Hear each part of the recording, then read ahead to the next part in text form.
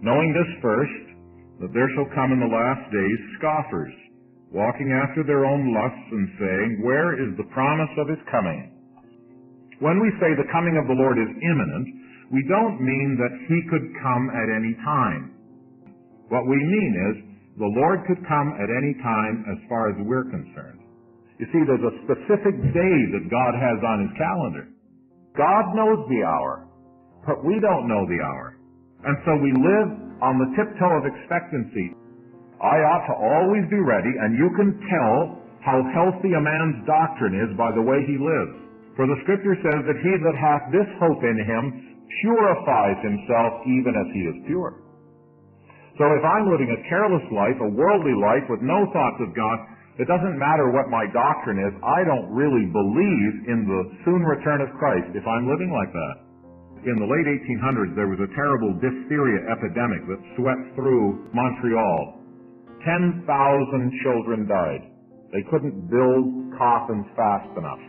And my great grandmother lost four children in one week. She never really recovered from it. Now, one of the children to die was little Mary. She was eight years old. And she used to come down and help her mother get the dinner ready. Very often she would go to the kitchen window, she'd pull back the drapes, look out into the morning sun, and then turn to her mother and say, Do you think he'll come today, Mummy? Do you live in the conscious, certain daily enjoyment that this could be it? Now, if that's how I live, then nothing down here will have much of an attraction for me. We are waiting for his son from heaven. That's what we're waiting for.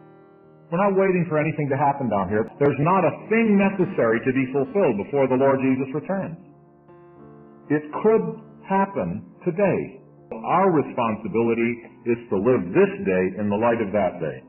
Now, Paul said, I only had two dates on my calendar, this day and that day. And I live this day in the light of that day, so that when I get to that day and look back at this day, I'll have nothing to be ashamed of. It's a happy way to live, isn't it? Not to live for the present, but to live in the present.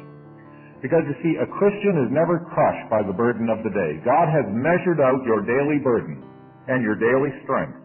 You're never crushed by the burden of the day.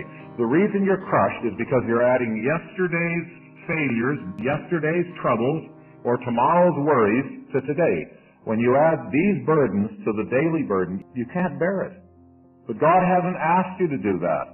He's measured out the day for you, and He wants you to live this day in the light of that day, in the light of the glory of the Lord, and then every day becomes a special day. Every day becomes historic.